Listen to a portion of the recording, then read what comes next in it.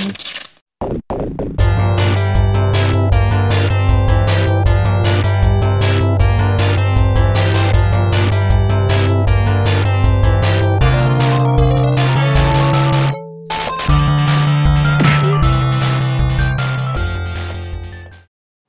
guys, welcome back to part 4 of our Double Dragon repair.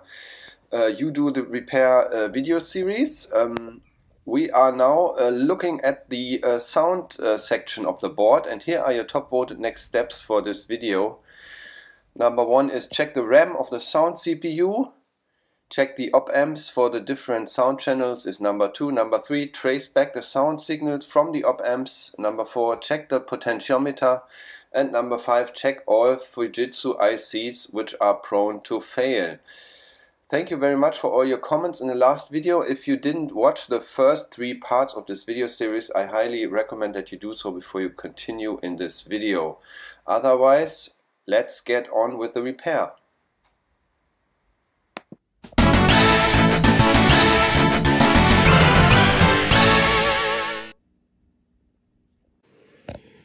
Okay guys, so let's um, continue with our um, Double Dragon sound section troubleshooting.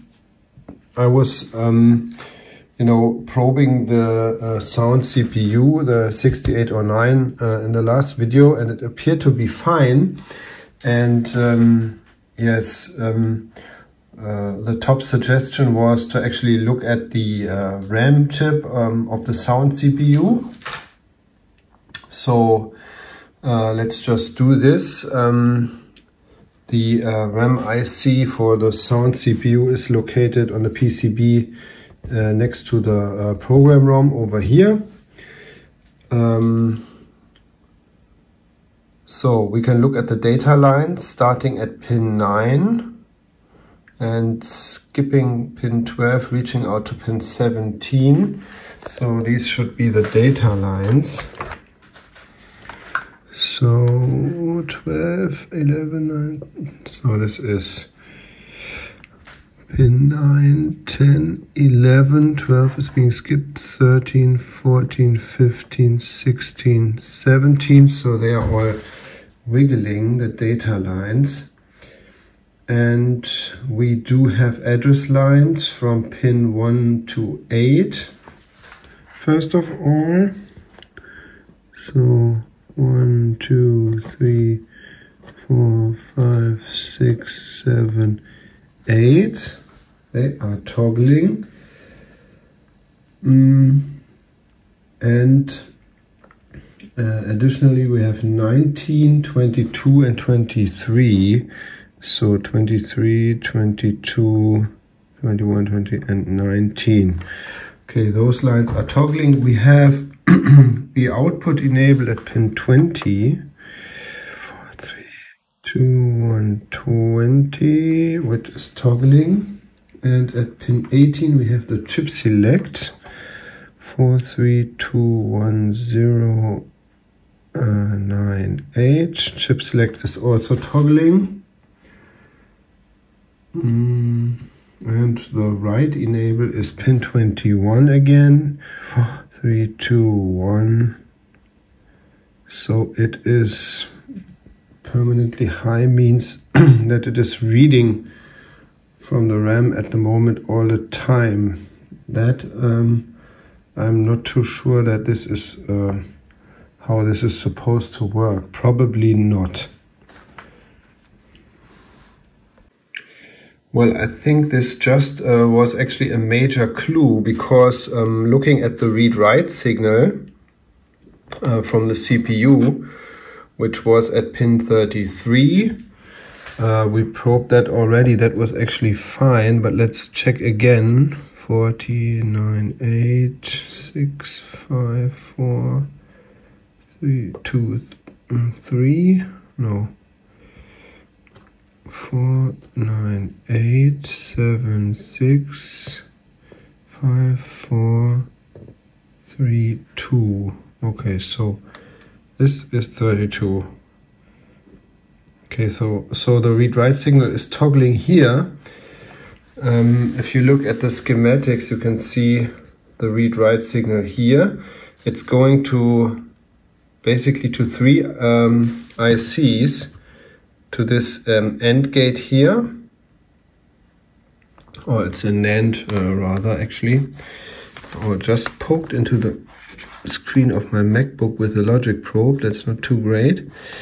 Okay um, so to, to this NAND gate uh, also to this inverter here and then to this um, buffer chip here as you can see in the schematic. So, and uh, the interesting thing is, if I look at IC64 pin 1, another IC which is here, then I have a toggling signal there as well. That, uh, that is what we would expect actually to be the case, but now interestingly, if I look at IC16 pin 1, for instance, which should be the same signal, um, I'm getting this. Uh, on the first glance, it looks like permanently high signal. On the second glance, it's a kind of a nervous flicker of the logic probe, which indicates that there's not really a TTL logic compatible signal on this line, meaning that uh, there is no high, no clear high and um, low signal states going on, uh, but rather the signal might be moving somewhere in between. So this can be seen at pin 1 here. And also if we look at this guy here which is IC19 pin 11 mm, 3, 2, 1 we get the same nervous flickering there. So somehow, as with the main CPU, uh, curiously, the read-write signal does get to IC64, but on the way to the other guys, somehow uh, the signal is lost or the signal level is uh, being uh, changed. So I think uh, we could actually, to additionally find out what's going on, we could uh, look at the signal uh, with the uh, oscilloscope. Okay, so here is what the signal looks like. Uh, you can basically um, uh, actually make out a toggling signal, but um, of course, you know, the baseline is kind of glitchy and also the signal levels are toggling somewhere between you know 2.2 volts and 1.3 volt or something. So um, this doesn't make much sense really.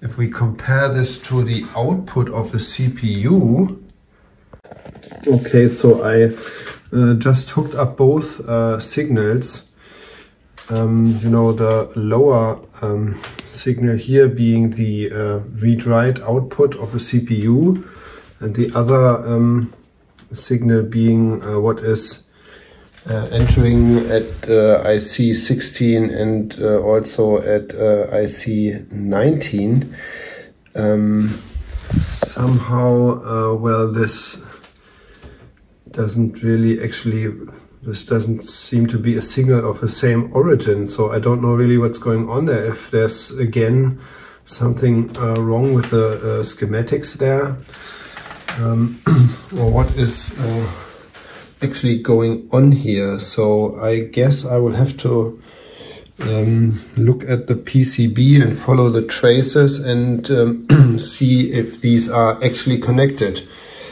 Uh, what can be said is that um, the signal input of the read-write signal at this IC16 and also at uh, IC19 um, as, uh, as the signal looks it's never going to work uh, this way. So uh, I don't know where the signal is really supposed to come from at this pin. If there's something wrong in the schematics again uh, over here, but uh, well, we will maybe uh, find out by just looking at the traces and see um, and checking what those two ICs with the funny signals are actually physically uh, connected to.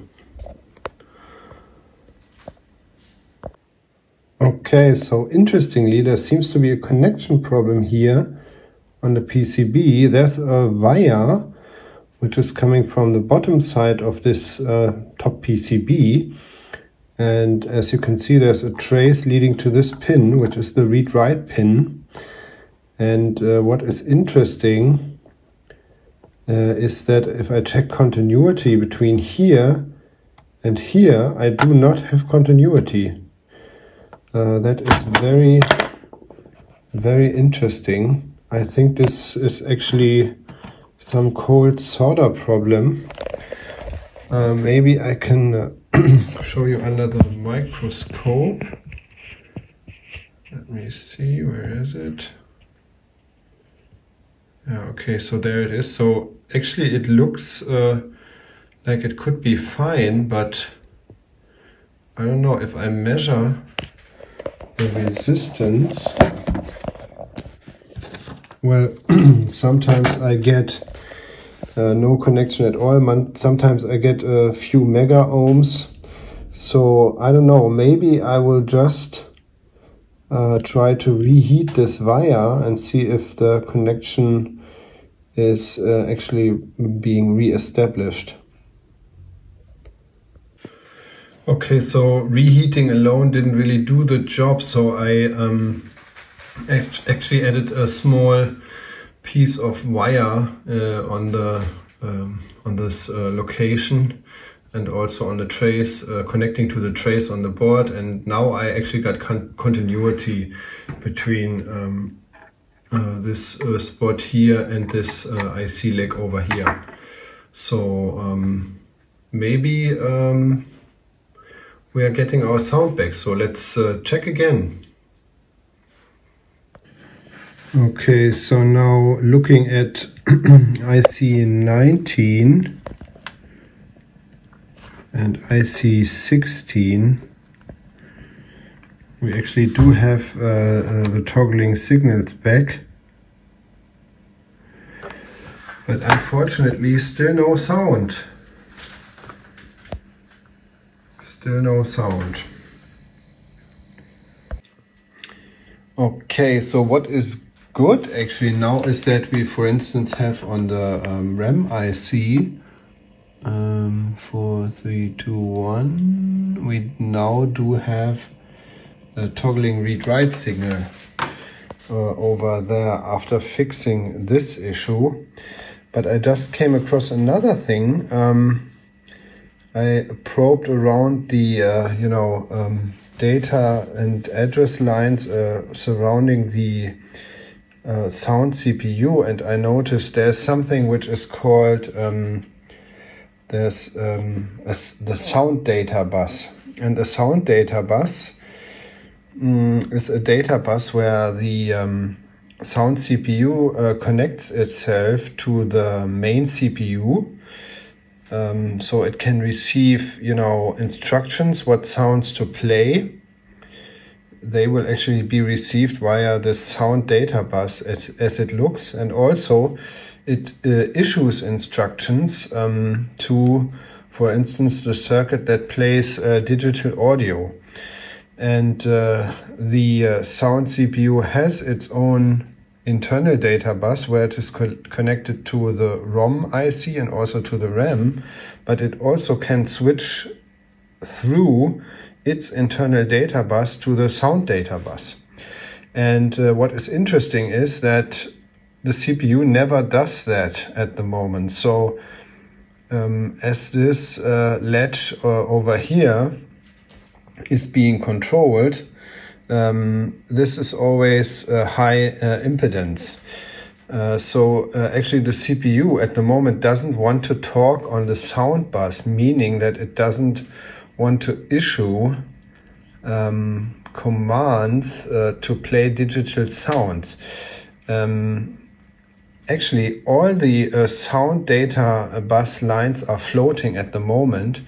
And what is also uh, maybe first and foremost uh, interesting is that there is um, a connection to the uh, data bus of the main CPU, as I said. And uh, so the main data bus of the CPU can also be latched in so that the main CPU can send data to the sound CPU. And actually the control lines for this seem to work uh, actually pretty good. So we do actually have, this is a flip-flop basically. We do actually have the um, clock, uh, um, we do have the uh, clock input and the output enabled signals of this flip-flop here.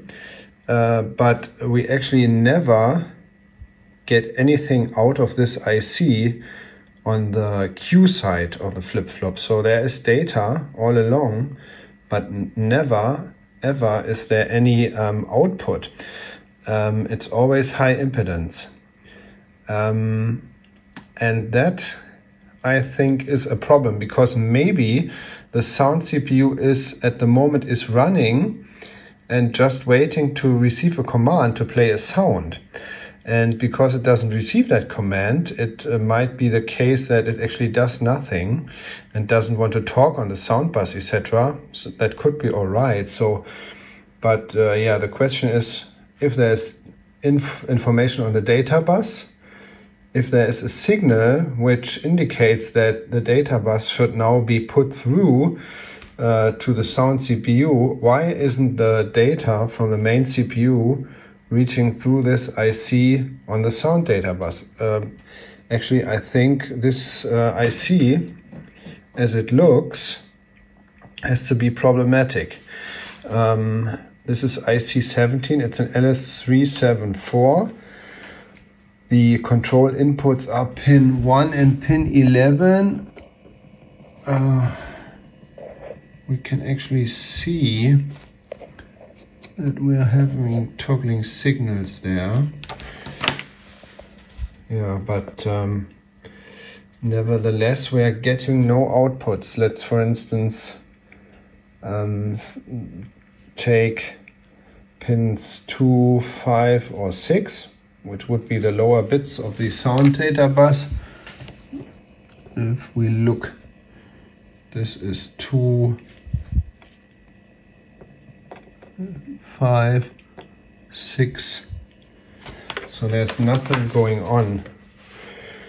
So I think I will actually just replace this LS374 uh, uh, because I'm under the impression that um, this IC should actually put uh, some kind of data through to the sound bus and actually doesn't. So Let's go ahead and replace this guy. Okay, well guys, looking at the schematics and um, also probing some of the signals uh, with my oscilloscope, uh, I'm actually beginning uh, really to understand how the circuit is supposed to work. Mm, well, I um, actually thought about this signal, talked about this signal before. It seems to be some uh, kind of a signal coming from the main CPU to tell the sound CPU that it is uh, wanting to send a command. This signal is going into a flip-flop, which is then connected um, to the uh, IRQ input of the CPU. And um, so if the main CPU wants to uh, let the sound uh, CPU play a sound, it will actually send an interrupt uh, signal through this uh, flip-flop. And um, the interrupt signal can be seen here, which uh, is here in the top line. So there's a lot of interrupt signals going on at the moment. And um, I have another uh, signal um, up on the oscilloscope screen, which is this signal here. And this signal here is um, actually um, the uh, output enable for this flip-flop. And it's also the clear signal for this flip-flop.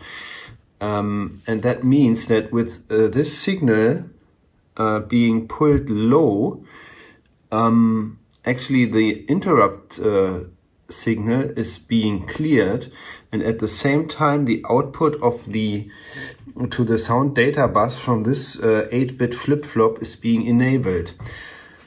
Um, and we can see that the data is loaded into this flip-flop when the this um, control signal is coming in. So what uh, what is happening is the CPU, sound CPU, uh, no, the, the in the main CPU wants to play a sound, so it obviously puts the sound command or the sound number or whatever into the data bus and then activates the signal then the contents of the data bus is going into this flip-flop and it is stored there. Um, the interrupt line is being pulled low and if the CPU is ready to respond to the um, to the interrupt that is um, actually at the end of this um, uh, signal here, of this uh, low signal here, at the end it is ready to respond to the interrupt. It then sends this signal here. This is corresponding to the end of this interrupt uh, here. And uh, with this signal, it will actually clear the interrupt signal and also put uh, the uh, data that ha has been stored on the data bus right onto the sound data bus. So it can then uh, actually read um, the data from the bus. And um, yeah, that's what, that's what can be seen here, going into this multiplexer here. And uh, yeah, I think what you can derive from this um, picture on the oscilloscope is that probably the sound CPU is working because it is it it is at least responding to the interrupt. You can see that the sound CPU through this line, signal line, which is coming from a decoder and which is corresponding to a certain address on the address bus. Uh, through this signal line, the CPU is uh, deliberately, obviously, um, um, it is responding to the interrupt and it's de deactivating the interrupt line. And um, I guess this, that the CPU that this is a good sign for the CPU uh, working correctly.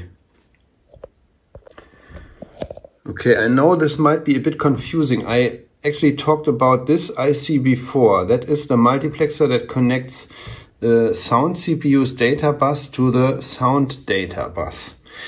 And it's a it's a bidirectional buffer. And um, well I noticed before that this signal at pin 19 which is um, uh, the direction signal is never actually toggling. So this signal is always high uh, meaning that the sound data bus is never being put through to the sound CPU's data bus. So uh, the sound CPU will never actually be able to read what is going on the sound data bus. It will have to do so in order to receive commands through the flip-flop mechanism that I just showed you. Yes, I already noticed this, but I uh, somehow uh, got over it. So this is actually um, after I noticed the problem uh, with this flip-flop, I replaced it, but this is actually a different problem. Um, the uh, you know the direction signal that is going into this multiplexer is coming from this IC over here, IC48, LS11. This is um, actually um, this is an, a triple input AND gate, um, and um, uh, as it looks at the moment, we do have uh, three inputs here from um, uh, from this uh, address decoder. There's address lines 11 through uh, 14 going into this um, decoder, and we have eight outputs. And um, we have, uh, you know, uh, output bit 2, output bit 3, and output um, bit 7 connected to this triple AND gate. At the moment, the signal that is coming out of here is always high, meaning that if this would work correct, all three input signals would have to be high all the time. Um, this is something we will have to uh, verify actually. But looking at the schematics, you can already tell if you look at, you know, bit 2, pin 13, uh, which is going to uh, uh this I, uh, this triple AND gate, you can see that there's, um, uh, you know, another branch, which is actually the signal that is going into our um, multiplexer, excuse me, into our flip-flops to connect the uh, the main data bus to the sound data bus. And this signal is working. This is the signal that I just uh, showed you on the oscilloscope. Um, it's the signal right here, which is mostly high, but is intermittently low. Um, so actually, um, if this goes into a triple AND gate, um, no matter actually what the, uh, the, the inputs on the other two pins are, this would lead to uh, the output being intermittently low at least and not uh, steadily high. Okay, so looking at this uh, triple AND gate, this is the first input. This is toggling. This is the second input. It's permanently high. And the third input is also high. Interestingly, the output uh, appear to be high all the time and is now being detected by the logic probe as you know being floating mostly yeah but uh, looking at the signal with the oscilloscope we have that right here we can see this is a high signal with the intermittent low pulses, one of the inputs to the triple AND gate, and this is the output signal. Well, it appears to be actually a permanent signal of about uh, 1.8 volts or something. So this is this is incorrect. Uh, this can't be this can't be right. So um, I think we will have to replace this um, this um, triple input AND gate, uh, which is actually next to the spot where I repaired this uh, wire and already um, I noticed when I repaired the wire that it has some corrosion on the legs. Um, also, some of you stated in the comments from the last videos that those uh, Fujitsu Logic ICs might be uh, top candidates for failure. This is another uh, Fujitsu part. So I will remove this guy, put in a new one and again and as before we will try to uh, check if we are getting our sound back, back uh, after this step. Okay, so the LS11 is replaced, so let's check out the game.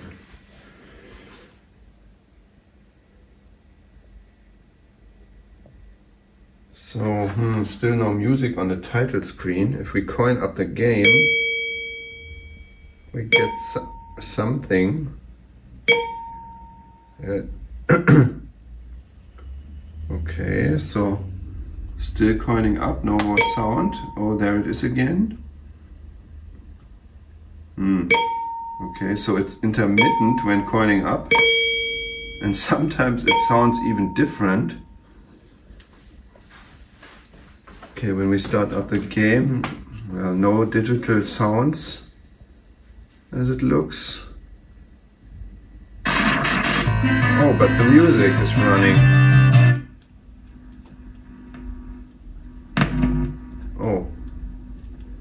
But it was only running for a short time, then it somehow stopped. Oh, that's interesting. So uh, we are getting some signs of life, but still uh, no digital sound. And um, yeah, the the analog sound, so to say, has uh, um, still some problems, obviously.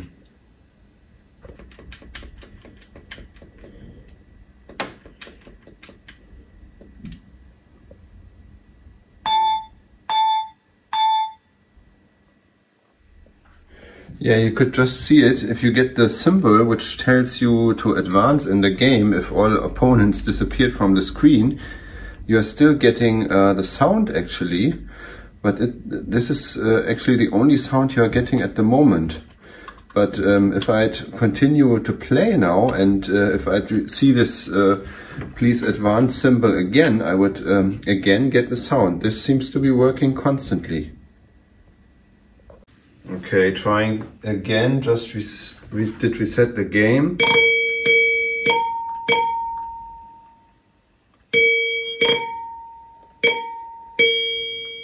Funny, very funny.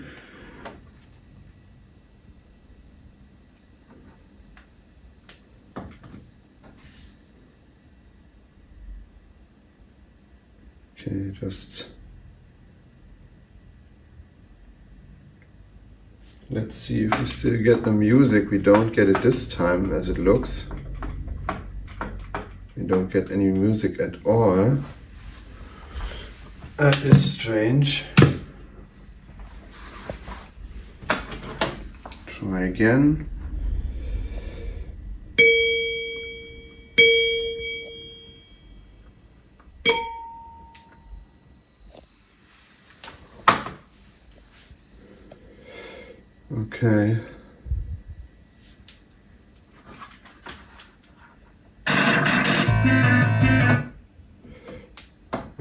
Music just starts to play for a moment, then stops without me doing anything. So, yeah. Mm, very interesting. So this might be uh, turning out to be a board with really, really many uh, multiple uh, problems. Okay, guys, um, I don't know anything but to actually not finish the repair in this video and uh, get some further uh, advice from you. Um, we actually already fixed uh, three um, things uh, in the audio section in this video. And still we are not having everything back but we're getting some some signs of life. So um, the digital sounds are still missing. Um, the digital sounds are coming from those two EPROMs here and um, are working through some of the uh, logic ICs that you see in the sound section over here yeah, but what I'm a bit afraid of is this intermittent problem with the, uh, you know, the analog sounds or the sounds from the uh, Yamaha chip.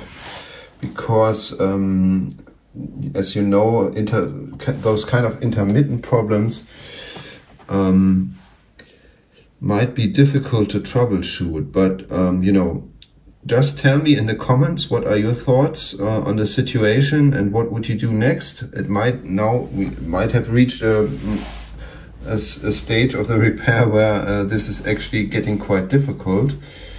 But uh, nonetheless, I think the uh, goal should still be to fix this board. So I'm very curious what your suggestions are, and I hope you are uh, still um, motivated uh, enough to uh, to actually contribute your opinions, uh, I would be very thankful.